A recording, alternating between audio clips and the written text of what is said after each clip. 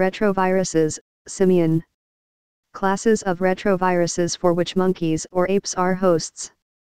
Those isolated from the West African green monkey and the Asian rhesus macaque monkey are of particular interest because of their similarities to viruses causing cancer and acquired immunodeficiency syndrome, AIDS, in humans.